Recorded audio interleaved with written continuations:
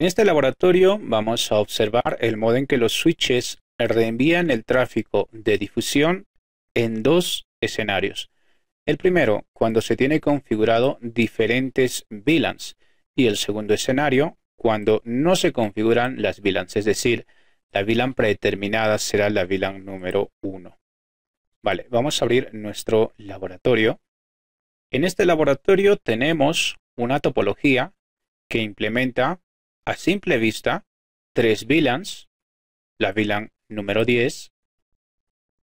Fíjate que está presente en los tres switches. Vamos a colocar de otro color la VLAN 20. Ok. Y por supuesto la VLAN 30. ¿Verdad? A simple vista. Pero según esta tabla de asignaciones, vemos que los tres switches también internamente manejan la VLAN 99, seguramente como la VLAN nativa. ¿Vale? Entonces estamos en una topología donde tenemos diferentes VLANs y ahora vamos a observar cómo se comporta un mensaje de difusión en un entorno donde tenemos diferentes VLANs configuradas. Más abajo también vemos que las PCs tienen diferentes configuraciones de IP y por supuesto una puerta de enlace predeterminada. En este escenario, la puerta de enlace predeterminada o gateway no tiene sentido ya que estos suelen apuntar a un router o a un switch de capa 3. Y viendo nuestra topología, estos tres switches son de capa 2. Pero ahí los tenemos. Bien, vamos con el paso número 1. Observe el tráfico de difusión en una implementación de VLAN, es decir, en el entorno actual que estamos viendo en pantalla. Vamos a generar un PDU simple, ¿ok? Entre la PC1 y la PC6.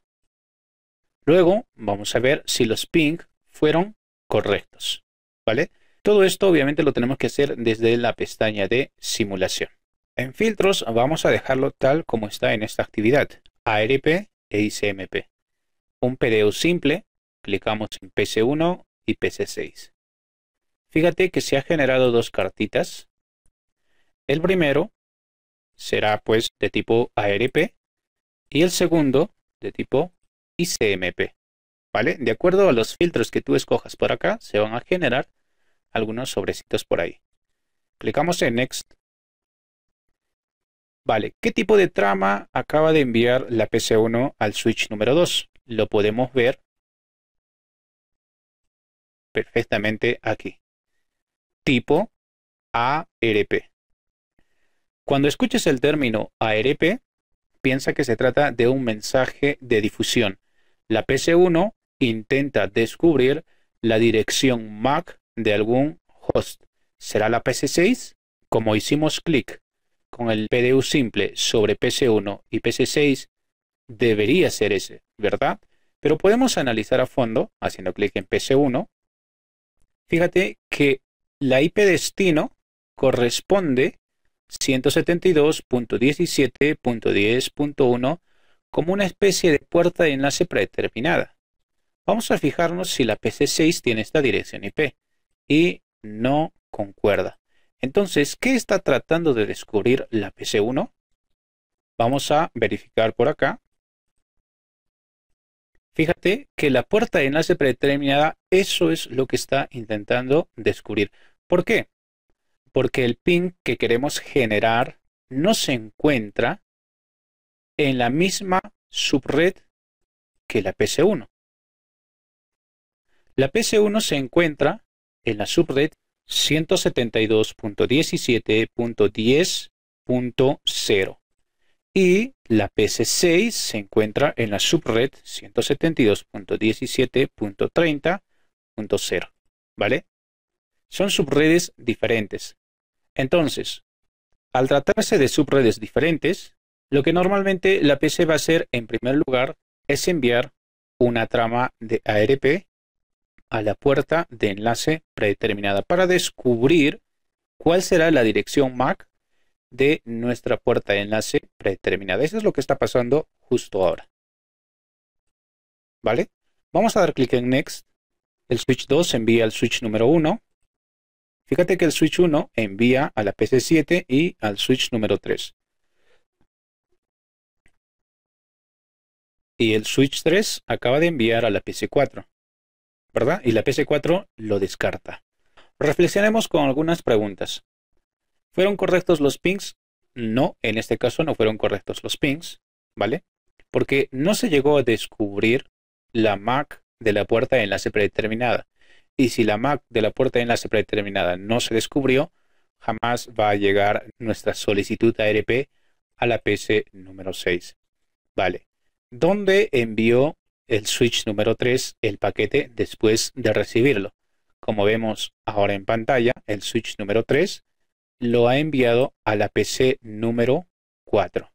¿Por qué envió a la PC número 4 si nosotros le dijimos que lo envíe a la PC número 6? Porque recordemos que la trama de difusión fue generada en la VLAN número 10. Entonces, los mensajes de difusión unicast y multicast se van a limitar a la VLAN donde fueron originadas. Y en este caso, la VLAN 10 es donde fue originado nuestro mensaje de difusión. Por ende, va a recorrer toda la red y se va a reenviar únicamente aquellos puertos que estén asociados a la VLAN número 10. En un funcionamiento normal, cuando un switch recibe una trama de difusión en uno de sus puertos, reenviará la trama a todos los demás puertos. En otras palabras, indica que si todos pertenecieran a la VLAN número 1, que es la VLAN por defecto, el switch 2 reenviaría la trama a la PC2, a la PC3 y también al switch número 1. Y el switch número 1 reenviaría la trama PC7, PC8 y PC9 y también al switch número 3.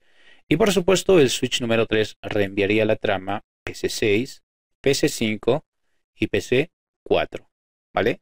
Eso en un funcionamiento normal, cuando todos pertenezcan a una misma VLAN. La trama de difusión se reenviará a todos los puertos activos, ¿vale? Bueno, en este caso estamos en un escenario donde tenemos VLANs configuradas. Resaltemos esta afirmación, dado que el tráfico de difusión está contenido en la VLAN, ¿vale? Tengamos muy en cuenta este concepto. El tráfico de difusión unicast y multicast está contenido en la VLAN, ¿vale? Nuevamente recalco, por eso es que cuando PC1 envió un mensaje de difusión, el switch 2 únicamente reenvió al switch 1 y el switch 1 lo hizo a la PC7 y al switch número 3 y el switch número 3 lo hizo a la PC número 4. Ven que el mensaje de difusión está contenido únicamente a la VLAN 10. ¿Ok? Esa es la importancia de implementar VLANs en una red conmutada, ya que los dominios de difusión son más pequeños y por ende no van a saturar la red de la VLAN 20 o de la VLAN 30, ¿vale? Que serían estos de acá. Bueno, en este escenario la PC6 nunca va a recibir la solicitud de ARP de la PC1, ¿verdad? Y dado que la PC4 no es el destino, simplemente va a descartar la solicitud ARP. ¿vale? Tal como lo estamos viendo ahorita, mira. PS4 está descartando esa solicitud. ¿Por qué? Porque la IP que viene en esa solicitud ARP no corresponde a la PS4. La IP que está yendo en esa solicitud, vamos a fijarnos, corresponde 172.17.10.1, que vendría a ser la puerta de enlace que fue configurado en la PC número 1. ¿Vale? Entonces la PC4 descarta la trama y por consiguiente pues el ping de la PC1 falla. ¿Por qué? Porque PC1 nunca va a recibir una respuesta ARP. Veamos un segundo escenario. ¿Ok? Vamos a crear un nuevo PDU y vamos a hacer un ping entre la PC1 y la PC4. PC1 y PC4 están en la misma VLAN. Entonces, en teoría, esto debería dar un ping exitoso. Vamos a ver, creamos un nuevo PDU, nuevo, y hacemos clic en PC1 y PC4, ¿vale? Fíjate que nuevamente se generan dos cartitas. Recuerda, una vez más, el primero, ARP, y el segundo, ICMP. ¿Ok? No te olvides. Veamos, clic por acá. Y aquí en el modo de simulación podemos ver que se ha generado un tráfico de tipo ARP y vamos a ver qué IP está yendo en destino. ¿Ok? Fíjate, destination IP 172.17.10.24 corresponde a la PC número 4. ¿Ok? Entonces, la PC1, al generar esta solicitud ARP, indica quién tiene esta dirección IP. ¿Cuál IP? Esta.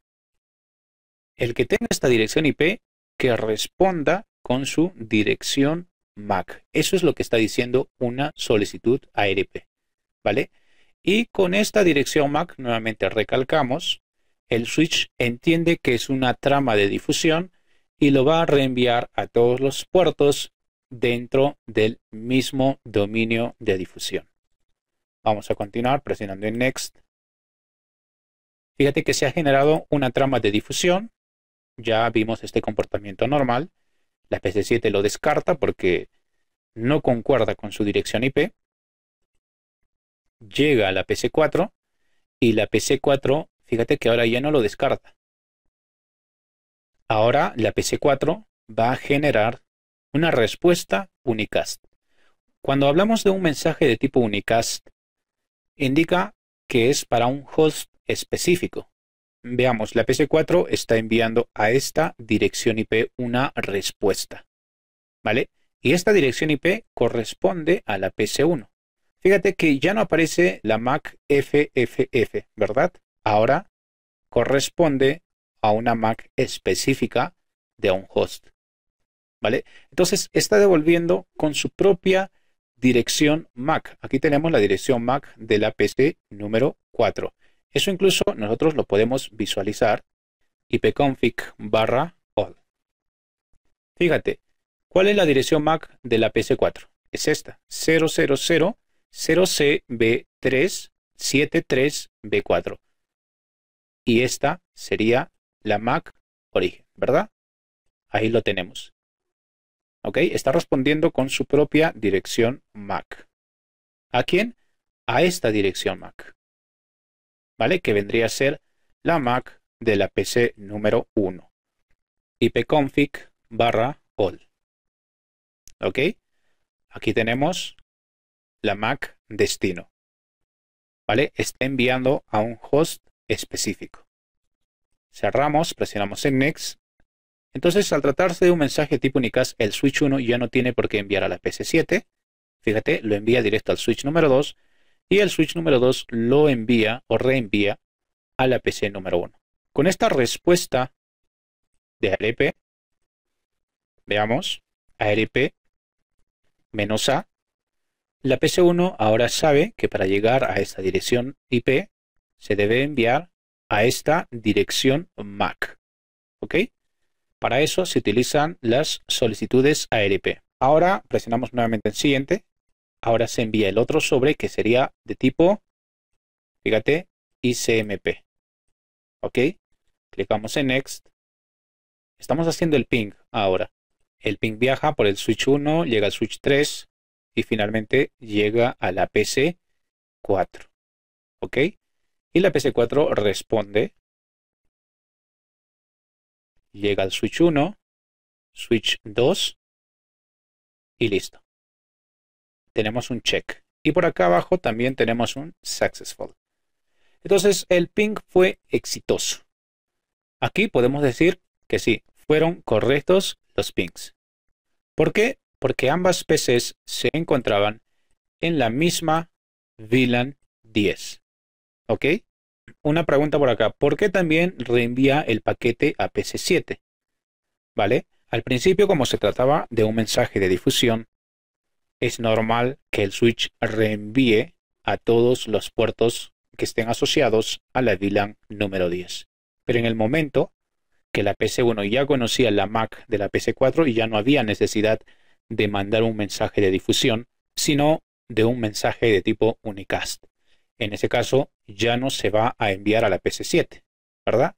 Cuando hacemos el ping, el paquete llegó aquí, pasó por acá y llegó a su destino de la PC4. Y cuando regresó, también lo hizo de esa manera. Una comunicación directa de tipo unicast, ¿vale? Ahora vamos a ver otro escenario. Observe el tráfico de difusión sin VLAN. Borre las configuraciones en los tres switches y elimine la base de datos de VLAN.database. ¿Ok? Vamos a regresar al modo tiempo real y vamos a eliminar, como bien dice acá, la configuración en los tres switches. La configuración de inicio, es decir, el startup config, tenemos que borrarlo. Luego tenemos que eliminar los archivos VLAN en los tres switches. Hacemos eso, regresamos a modo real. Vamos a ingresar al switch número 1 y aquí vamos a ingresar al modo privilegiado y fíjate, vamos a ver primero qué tenemos en la memoria flash. Dir flash. Tenemos el archivo VLAN.dat. Este archivo o en este archivo se almacena la información de las VLANs que vamos creando. Las indicaciones son claras. Tenemos que eliminar la información de inicio, erase, startup config, confirmamos, y eliminar el archivo VLAN.dat. ¿Ok? Y en modo privilegiado también hacemos un reload. Ingresamos a modo de configuración global, show VLAN. Ya no tenemos las VLANs. ¿Ok? Show run la configuración se ha perdido por completo. ¿Vale? Ya no hay configuración. Hacemos lo mismo para switch 3, enable, show VLAN. Fíjate, VLAN 10, 20, 30 y 99. Tenemos que eliminarla. ¿Cierto? Show run.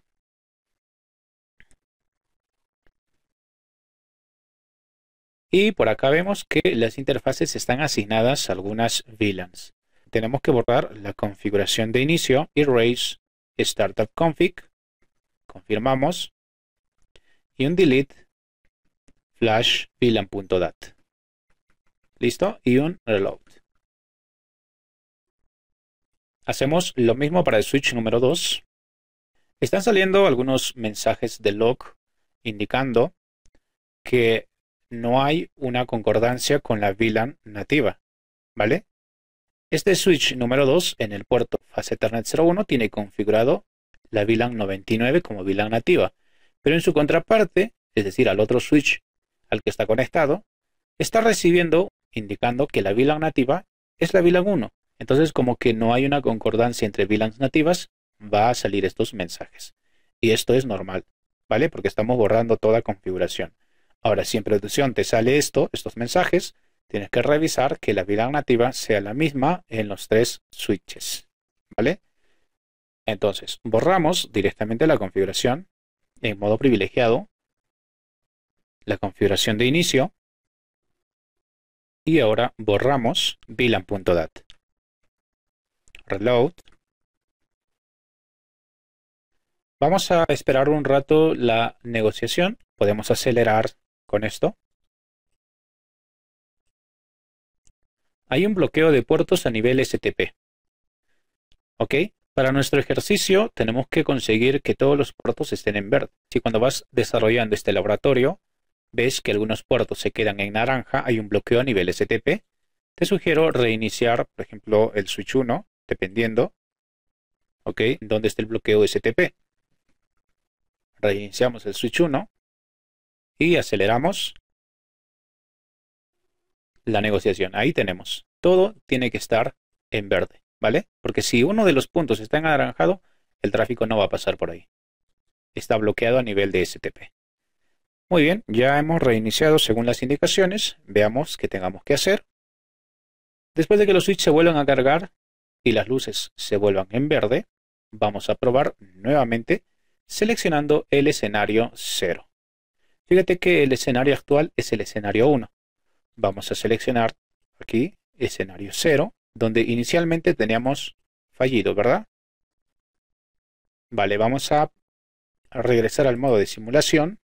Recuerda que el objetivo de este laboratorio es observar cómo se comportan los mensajes de difusión en entornos donde se configuraron varias VLANs y en un entorno donde no existen VLANs, sino solamente la predeterminada, es decir, la 1.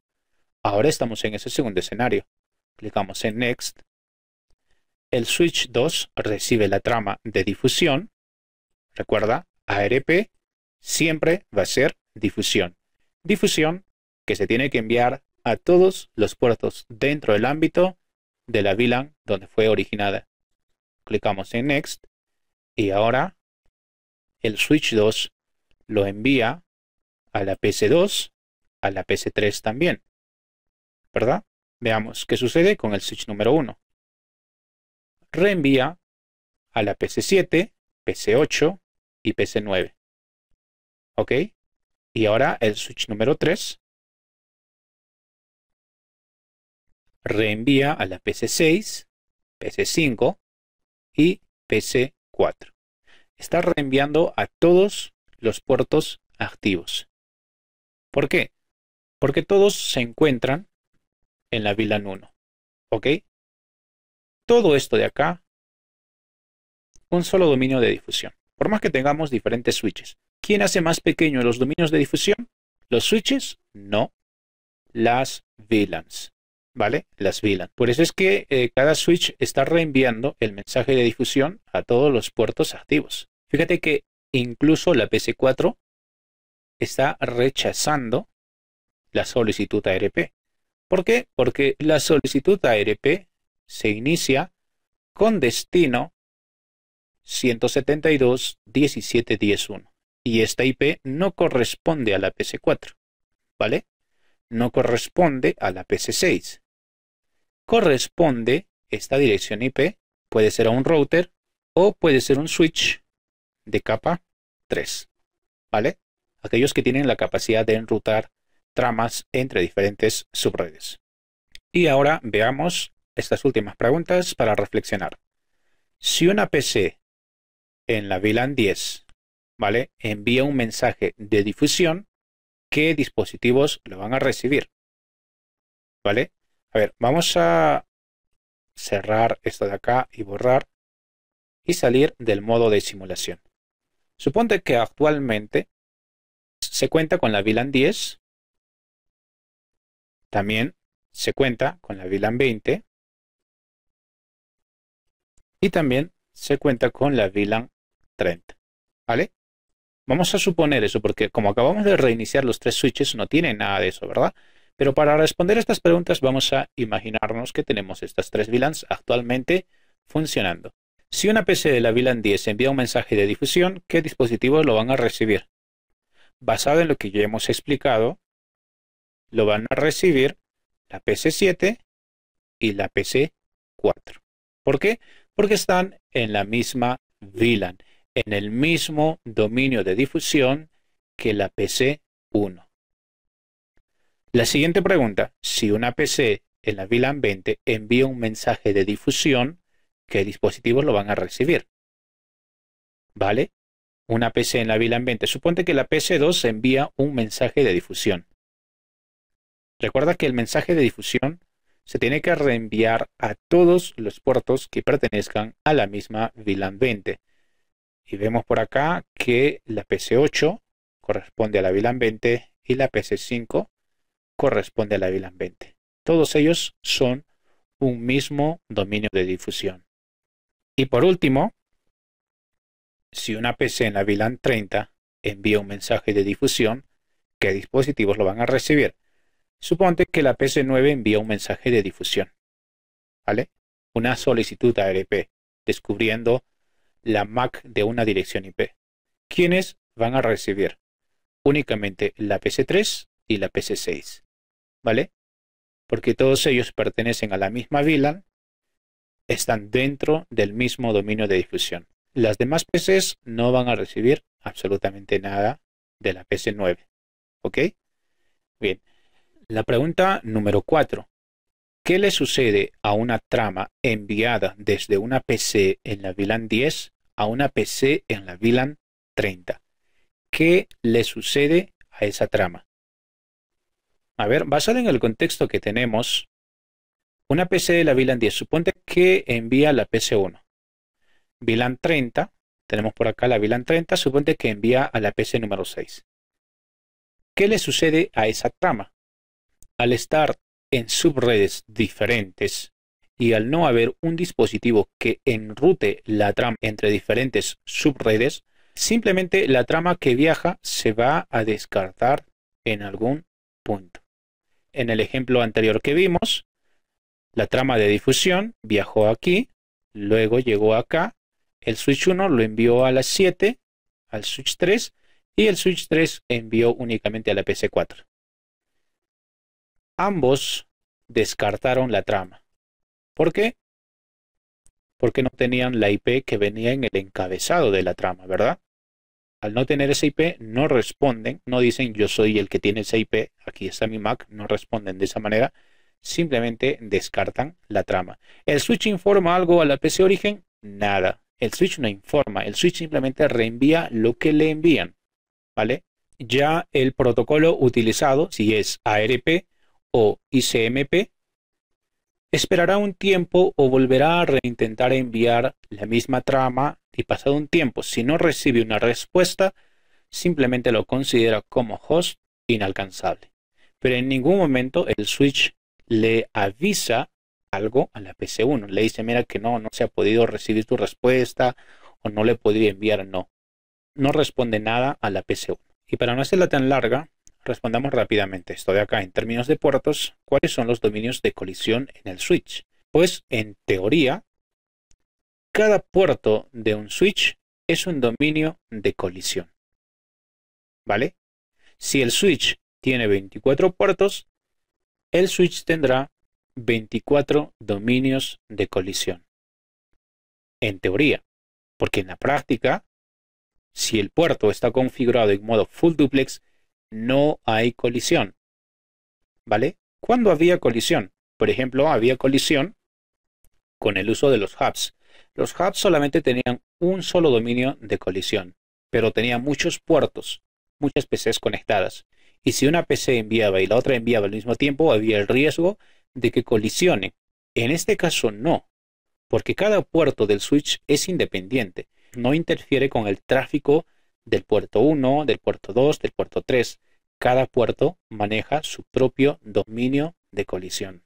Así que mientras tengamos los puertos en modo full duplex, no habrá colisión. Pero si un puerto está configurado como full duplex y el otro extremo está configurado como half duplex, hay un riesgo de colisión.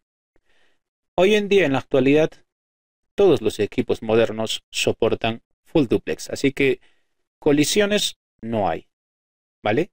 Pero ese término de dominio de colisión todavía se mantiene. En términos de puertos, ¿qué son los dominios de difusión en el switch? Recordemos aquí arriba el tráfico de difusión está contenido en la VLAN. ¿Vale?